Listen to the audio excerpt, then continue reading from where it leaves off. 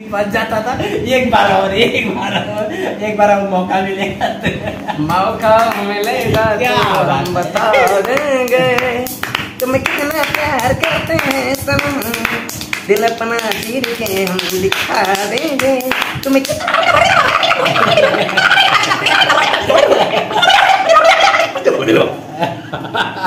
इसके बाद बंद हो जाता था। अगर आप वाकई अगर कैसेट वाला गाना सुने होंगे रील वाला तो वैसा ही आज खाने में पूरी है? अरे तो बोले इससे अच्छी बात क्या है? और फिर एक लड़का तो ये कबूतर उड़ाता था क्या करता था? आज हम जोश स्पिरिट में बिल्कुल जोश से बिल्कुल जोशो खरोशों से आए हुए हैं। जितेंद्र दिव्यांग जी के चरण में आए हुए हैं। और इस बार हम अपना कुछ कॉमेडी प्रस्तुत करना चाहेंगे। हमारा वेब लवारिस का एक बहुत पुराना गाना है।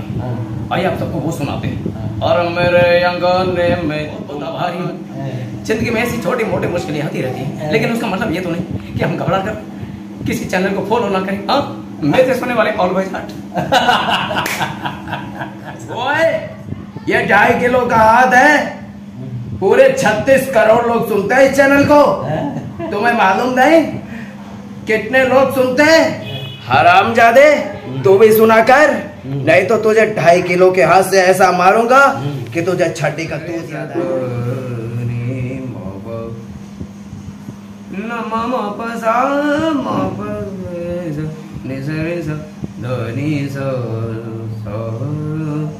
जनक जनक थोड़ी बाजे पायलिया जनक जनक थोड़ी बाजे पायलिया प्रीत के गीत सुनाए पाया। कहीं गोरी वाहे आहा, कहीं कहीं जुल्फ का बादल, ओहो, कहीं आँख का काजल, आहा। हाँ कदम कदम पर लाखों हसीनाए हैं। हम जिन्हें दिल का तोहफा देने जिसे आए हैं। ये लड़की वो सबसे अलग है। वालों, जग में निश्चित है। भाई से बड़ा सुख दाम नहीं।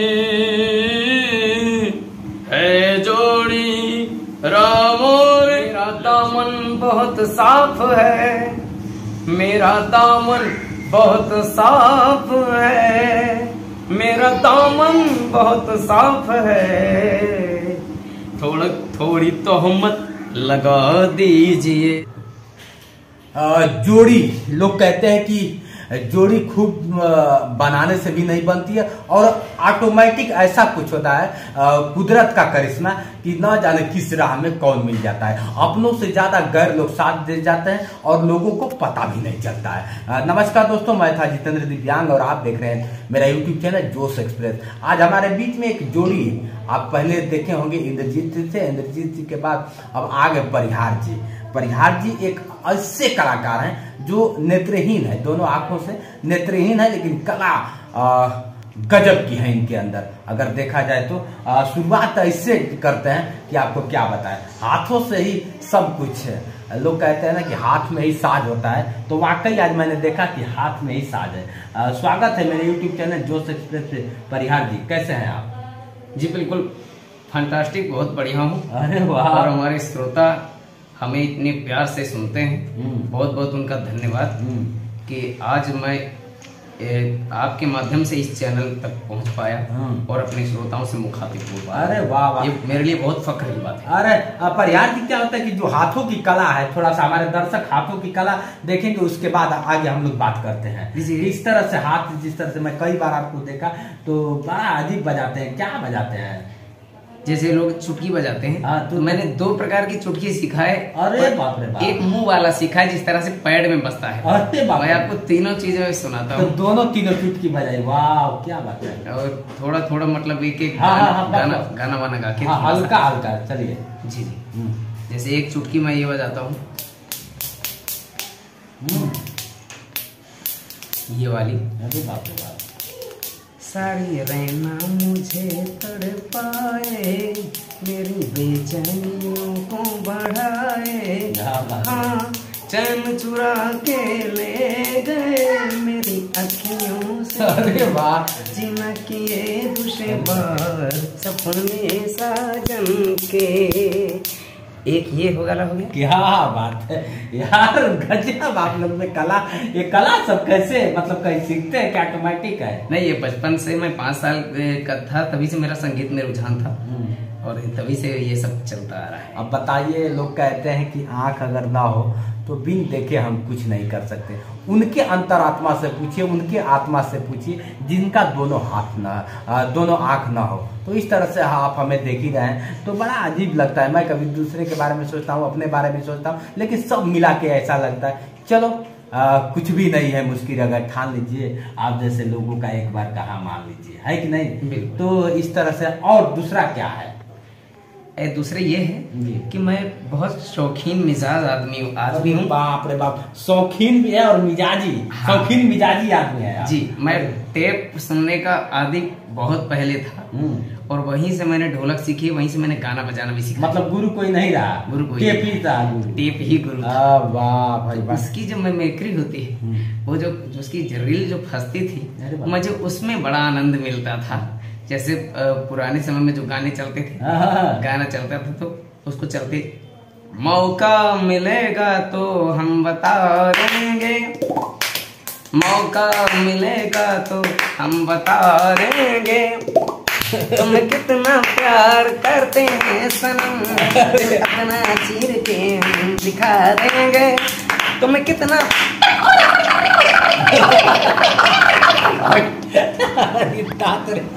ये पहला रील मतलब फंस जाता था तो ऐसे। वाकई मैं भी जब टेप बजाता था तो ऐसे ही रील फंस जाता था। एक बार और एक बार और एक बार और मौका मिलेगा तो।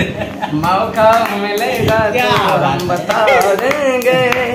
तुम्हें कितना प्यार करते हैं सनम दिल अपना चीर के हम दिखा देंगे।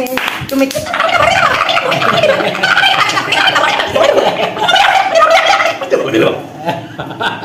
इसके बाद बंद हो जाता था। अगर आप वाकई अगर कैसेट वाला गाना सुने होंगे रील वाला तो वैसा ही निश्चित करता था। हम लोग भी सुनते थे पर शुरू होता था उसके बाद तेज हो जाते था उसके बाद सही ऐसा ही करने लगता था।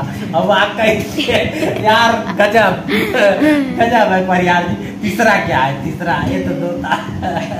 तीसरा क्या है चुटकी तीसरी चुटकी ये थी ऐसे ऐसे वाली अच्छा अच्छा। ये जब मज़ा लेने के लिए जब कोई जैसे हमारे यहाँ स्कूल में काफ़ी सारे ब्लाइंड होते हैं तो अगर किसी को मज़ा बड़ा आया खुश होते हैं तब आप ऐसा करते हैं। जैसे अरे किसी ने बता दिया ए आज खाने में पूरी है है।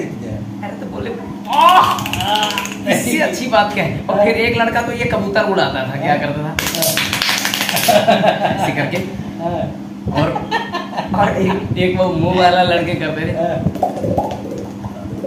अरे बाप रे बाप। ये वाला भी बहुत करते थे। हाँ मतलब खाना का जब एंजॉय आ जाता था आनंद लेने के लिए ना। तो ऐसा अगर देखा जाए परिहार साहब बड़ा कला है आपके अंदर। गाते भी बहुत अच्छा है। गाने में किस तरह का गाना गा लेते हैं? वैसे भजन भी गाता हूँ गज़ल भी गाता हूँ फिल्मी कोई भी गाना हो।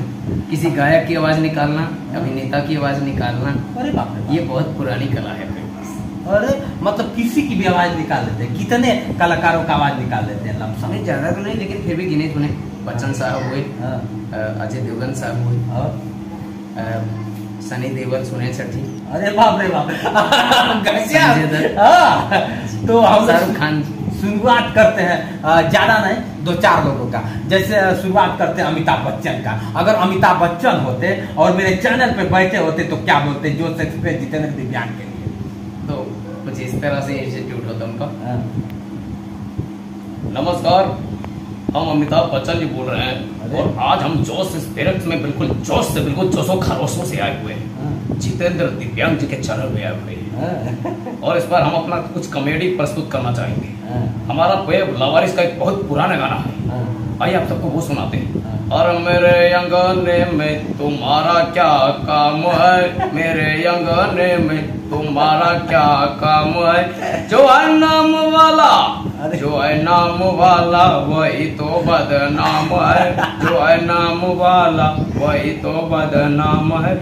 मेरे अंगने में तुम्हारा क्या काम है? समझ गए? और नहीं तो हम लोग छठी का दूधिया दिला देंगे। बाप रे बाप। अगर अमिताभ बच्चन होते शाहरुख खान आ जाते। और शाहरुख खान जी होते तो कुछ ऐसा करते जैसे शाहरुख खान जी अगर आएँगे। मैं पहले बार इस चैनल में आया हूँ। आज तक मैं कभी किसी चैनल में गया नहीं। मैंने हमेशा टीवी शो किए हैं। लेकिन आज तक मुझे इस चैनल में जो आज खुशी मिल रही है, वो मुझे कहीं नहीं मिली। मैं जितेंद्र जी को बहुत बहुत धन्यवाद देता हूँ। उनका बहुत बहुत आभारी हूँ। ज़िंदगी में ऐसी छोटी मोटी मुश्किलें आती रहती हैं। लेकिन उसका मतलब ये तो नहीं कि हम घबरा कर किसी चैनल को फॉलो ना करें। हाँ मेरे सुनने वाले ऑलवेज हट इस तरीके से आज सुनील सेठ जी होते थे। चैनल सुनते रहिए। नहीं तो अंजलि जैसा हाल होगा। मैंने तो प्यार करके धोखा ही खाया है। लेकिन आप लोग धोखा मत खाइए। मैं यही कहूँगा। और कुछ नहीं। सनी देओल आ गए तो। बस सनी देवल आ गए तो बवाल कर देंगे। अरे बस ढाई किलो हाथ लेके। ढाई किलो का। ओए ये ढाई किलो का हाथ है। पूरे छत्तीस करोड़ लोग सुनते हैं इस चैनल को। तुम्हें मालूम नहीं? कितने लोग सुनते हैं? हराम जादे तू भी सुना कर। नहीं तो तुझे ढाई किलो के हाथ से ऐसा मारूँगा कि तुझे छड्डी का दूध याद आ जाएगा।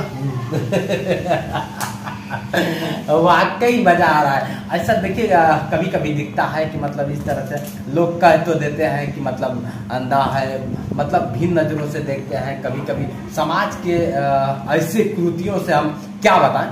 लेकिन इसका बहुत काफ़ी गम भी होता है कि क्यों ऐसा कहा जाता है? हम किससे कम है? आखिर हम भी तो समाज के अंग है। हमें भी तो इसी समाज ने पैदा किया है। लेकिन अगर देखा जाए हकीकत तो सामान्य लोगों से कहीं अलग ज़िंदगी जीने का एहसास भी रखते हैं और अपने आप में गर्व समझते हैं कि हम लोग ऐसा कभी ऐसा नहीं लगता है परिहार की कि हमारे दोनों आँख नहीं है हम लोग देख नहीं पाते हैं। तो इसका तकलीफ़ हो- होता होगा कि नहीं होता होगा? नहीं देखिए मैं इस चीज़ को कभी सोचता भी नहीं हूँ। अच्छा अच्छा। क्योंकि मैं ये सोचता हूँ कि जो ज़िंदगी मैं जी रहा हूँ शायद ही कोई जी रहा हो। वाह वाह। नहीं कभी कभी लोग कहते जाते होंगे आप रास्ते में तो लोग कहते हैं इसका दोनों आँख नहीं इस तरह से। तकलीफ़ तो होता ही है जैसा हम लोग को भी तकलीफ़ होता थोड़ी है। बहुत होती है बाकी लेकिन क्या है कि एक शेर है हम्म। उस शेर को बोल करके उससे सुन करके मैं अपनी संतुष्टि कर लेता जैसे जैसे जैसे। वो ये है चार पंक्तियाँ हैं। हाँ, यूँ तो ज़िंदगी हम सबके अपने हाथ है हाँ। दूसरा भी साथ दे तो कुछ और बात है। बात चलने को तो लोग एक पाव से भी चलते हैं मगर तू जरा भी साथ दे तो कुछ और बात है। अरे वाह वाह। इश्क प्यार मोहब्बत का ऐसा तो नहीं कि इसका प्यार मोहब्बत किसी से हुआ है या फिर होने वाला है या फिर हो गया है? नहीं मैं ये सोचता हूँ कि होना चाहिए मगर अब तक हुआ नहीं है यही बहुत दुख की बात है। हाँ, क्यों? अगर ऑफ़र मिल गया तो? नहीं ऑफ़र मिल गया तो प्रसिद्ध थाली तो कोई नहीं छोड़ता। सही कहा। अगर मान लीजिए कोई लड़की आके प्रपोज करती है कि परिहार जी आई लव यू मैं आपसे प्यार करती हूँ। उस वक्त आप क्या कहेंगे? नहीं तो पहले उसकी सिचुएशन को समझेंगे। ना, प्यार जब हो गया तो सिचुएशन क्या होता है हाँ, ऐसे डायरेक्ट प्यार होना थोड़ा सा आश्चर्य की बात है ना। अच्छा किस तरह प्यार होना चाहिए? प्यार देखिए पहले पहले एक वो कहावत सैनी देवल ने बोली है। हाँ, हाँ। पहले प्यार हम्म, फिर बात फिर मुलाकात फिर नहीं समझे तो बात इस तरह से। अच्छा सनी देवल वाला प्यार करना चाहते हैं। हाँ नहीं मतलब अंदाज यही होता है। अच्छा अंदाज यही होता है। पर यार कि कभी कभी ऐसा नहीं लगता है कि जैसे संगीत एक मतलब अपने तरफ़ देखा जाए तो संगीत कहीं ना कहीं सारे गम को भुला देती है। समझ में नहीं आता है। इसमें आप क्या कहना चाहेंगे? देखिए संगीत एक अलग मिजाज है और वो जीने का ज़रिया है। और मैं ये जानता हूँ कि कोई अच्छा खासा अगर उदास आदमी हो किसी भी टेंशन में हो भले वो रो क्यों नहीं रहा हो लेकिन अगर उस अगर उसने दूर से ही सुन लिया छत पे सोया था बहनोई वो उसकी थोड़ी बहुत टेंशन दूर हो जाती है। थोड़ी क्या पूरी उस समय के लिए तो हो ही जाती है। एक गाना है ना चाहत के दो पल भी मिल जाए दुनिया में ये भी कम है क्या? हाँ। तो वही वाली बात होती है। अच्छा। वो। फीलिंग होती है उस पर। आ, आ, क्या होता है कि आ, आप मैंने सुना है राग दरबारी जो है बड़ा अच्छा आप गा लेते हैं। थोड़ा सा दो लाइन। ज़्यादा समय आपका मैं ले लिया। थोड़ा सा दो लाइन राग दरबारी हो जाए। राग दरबारी में काफ़ी सारे गाने हैं। जैसे जैसे जो आपको बहुत आपको लगता हो कि दिल छू जाएगा इस तरह का कौन सा है। काफ़ी भजन भी बने काफ़ी गाने भी बने मुझे जो फिल्मी गाने अच्छे लगते हैं वो वो काफ़ी जैसे उदित नारायण लोगों के। जैसे कौन सा? विनोद राठौर जैसे एक गाना बहुत पहले पुराना था मन्नाडे साहब का चला था। वो बहुत अच्छा लगता है मुझे। निजरे सधनी मप न मम पसा मप निजरे स धनी स स। जनक जनक तोरी बाजे पायलिया जनक जनक तोरी बाज पायलिया प्रीत के गीत सुनाए पायलिया प्रीत के गीत सुनाए पायलिया जनक जनक तोरी बाज पायलिया रंग महल और प्रेम सुहानी। मपधानी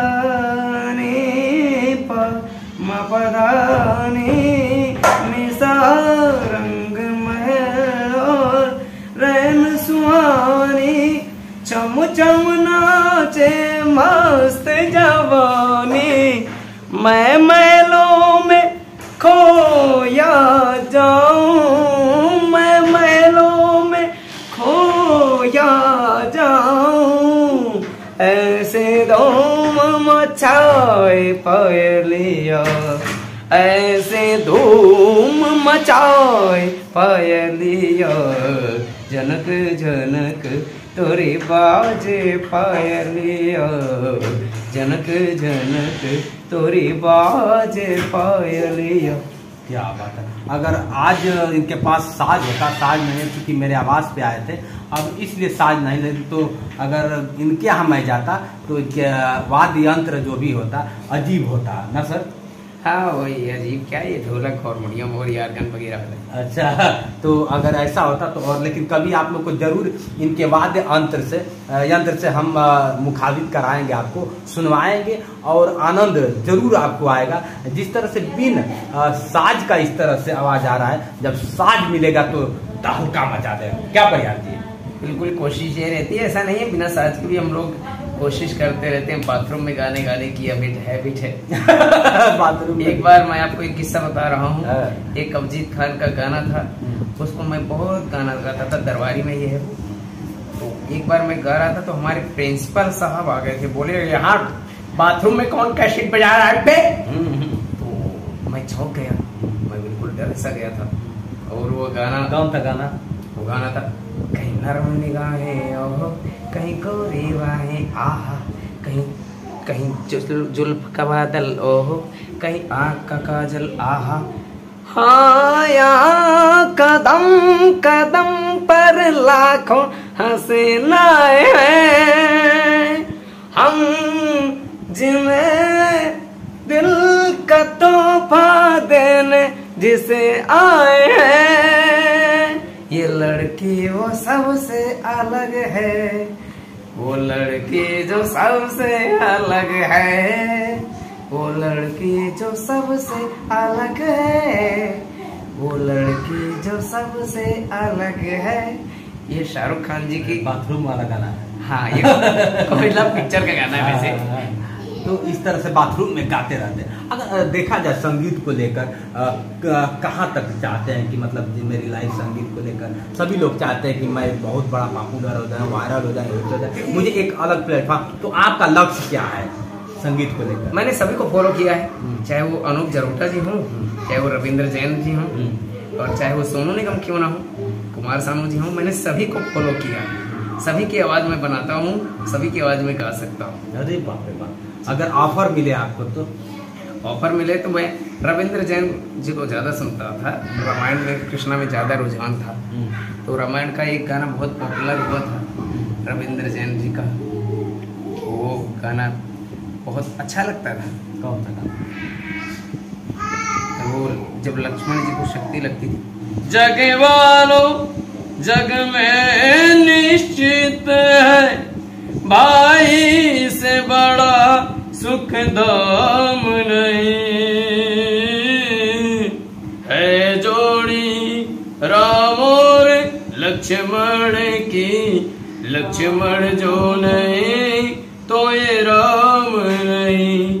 है जोड़ी राम और लक्ष्मण की। लक्ष्मण जो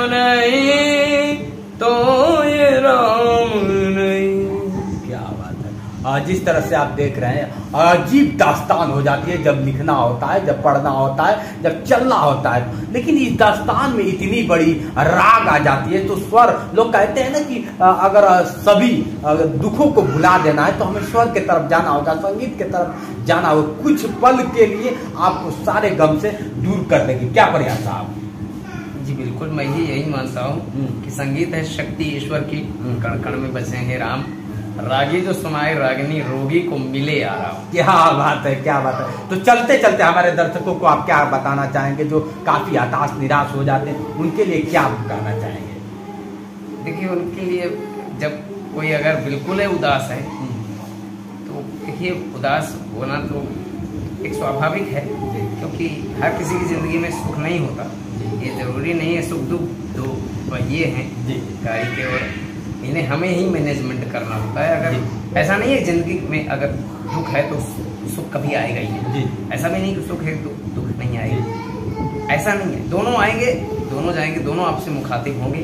लेकिन क्या है कि ज़िंदगी में आदमी को खुश रहना चाहिए क्योंकि जीना अगर बहुत ज़रूरी है तो खुश रहना भी उसके लिए बहुत ज़रूरी है। जीना नहीं ना ज़रूरी नहीं देखिएगा जी कभी तो होता है ना कि जीना ज़रूरी है तो पीना भी ज़रूरी है। नहीं तो ये ये आजकल लोग करते हैं कि नशे को अपना टेंशन मुक्त ज़रिया बना लेते हैं। लेकिन ऐसा नहीं है। अगर इस नशे की जगह संगीत को अपना ज़रिए बनाएँ तो मेरा यही मैसेज रहेगा कि दारू या किसी और नशीले पदार्थ की जगह अपना मैसेज अगर संगीत को बनाए तो अगर ऐसा नहीं है अगर कोई गम में भी है तो उसके लिए भी गाने बने भाई।